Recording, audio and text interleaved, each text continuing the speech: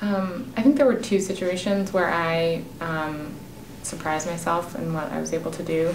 I think the first was the C-hyst that I had to do. Um, I hadn't done one in residency, and of course I've done hysterectomies, but they're so much more challenging um, during a C-section.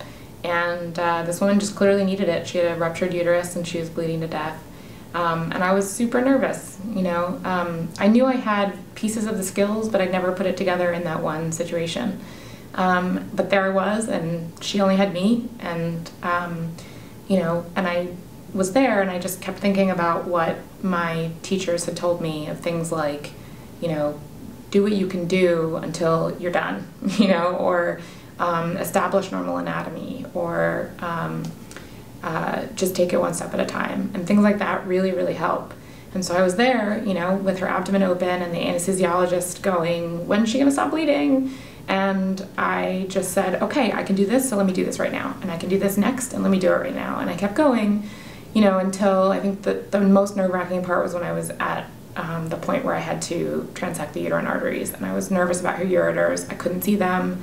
And um, I had used all the techniques that I knew to try to identify them, and I couldn't find them. And yet, if she continued bleeding, she wasn't going to need them because she was going to be dead. So I said, okay, you know, I have these skills, I've done all of these things that I know how to do, and I just need to go ahead and, and do this.